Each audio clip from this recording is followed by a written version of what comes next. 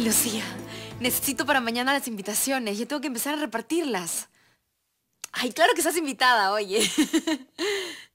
ya, perfecto. Muchísimas gracias. Un besito. Ay, ya está. Pasa, nona. ¿Podemos hablar? ¿Estás ocupada? Bueno, sí, estoy en todos los preparativos para mi matrimonio. Ay, nona, creo que necesito más tiempo o, o una wedding planner. Justamente de eso quiero hablarte. ¿Qué ocurre? No sé cómo pedirte esto, Fernanda. ¿Pedirme qué? Posponer la boda. ¿Posponerla? ¿Por cuánto tiempo? Un año. ¿Un año? ¿Un año, nona? No, no, es que no puedo posponer mi, mi matrimonio por tanto tiempo. ¿Por qué no? Porque ya separé la iglesia y ya hice todos los trámites en la municipalidad. Bueno, yo me encargaría de pagar todos los gastos y, y me encargaría también de organizarte todo para el 2015. Pero postérgalo. Nona, ¿te das cuenta de lo que me estás pidiendo? ¿Qué ocurre, nona? Fernandita, los celos me matan. Todo esto tiene que ver con Morgana Centurión, ¿no? Sí. Ay, nona. Ponte en mi lugar, Fernanda. Es una mujer joven, guapa y está muy interesada en Carlos. ¿Eso cómo lo sabes? Lo sé. Simplemente lo sé. Mira, nona. Ustedes están casados. Además, Carlos te ha demostrado un millón de veces que te ama, que te respeta, que es un hombre honorable.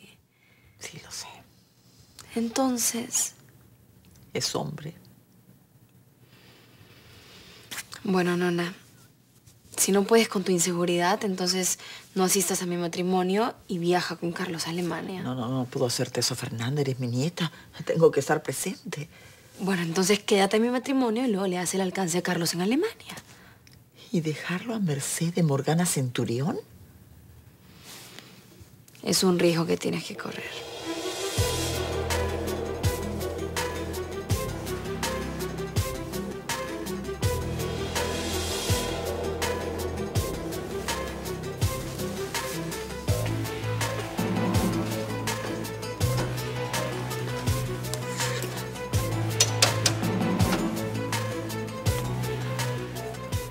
Siento, Fernanda. Ya no estoy para correr riesgos.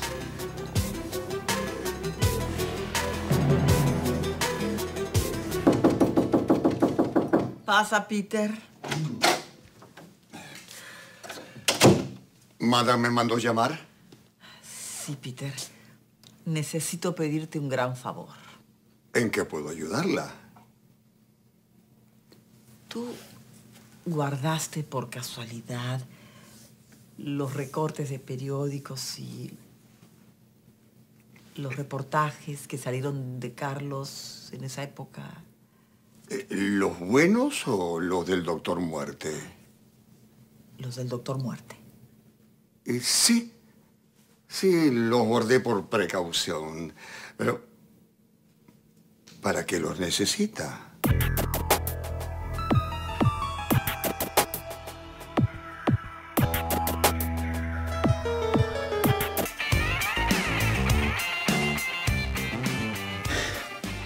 Bueno, y llegó el gran día. Te voy a extrañar. Mira a ti, mami. Pero no va a ser por mucho tiempo. Se casan Joel y Fernanda, el día siguiente tomas un avión y me das el encuentro. No lo dudes. Esta especialización es muy importante para mí, mami. A lo largo de todos estos años he alcanzado muchas metas. Logrado muchos reconocimientos. No soy un empresario exitoso como tú, pero bueno, he podido comprarme mi casita y sé que no tendré que preocuparme por la parte económica el resto de mi vida. Pero este sueño que hoy persigo va más allá.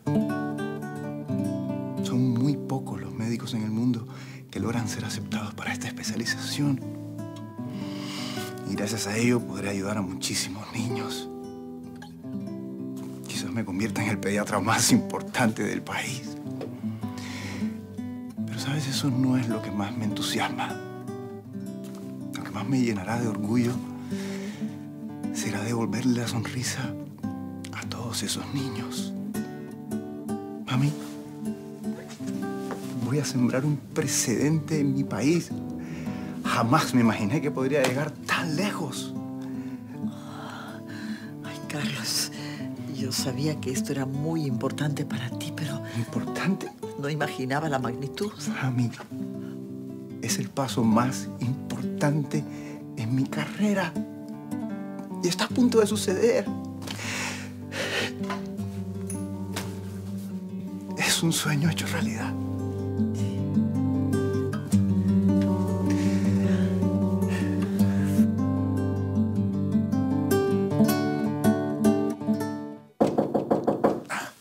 Adelante. Buenos días. El señor Carlos ha llegado esta correspondencia para usted. Gracias, Peter. Es de Heidelberg. Seguro es información del curso.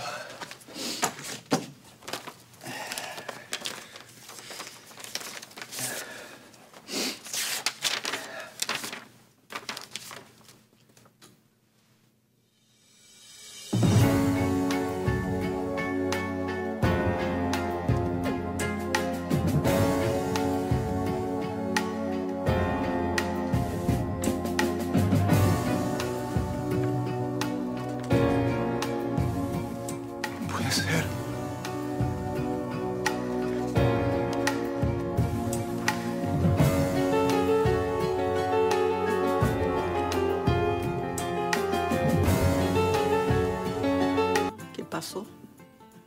No puede ser.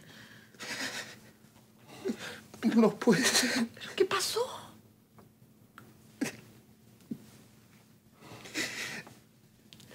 Me suspendieron la vacante. Me retiraron la especialización. ¿Por qué? Dicen que a sus manos ha llegado información acerca de mi reputación como médico, que tengo serios cuestionamientos éticos.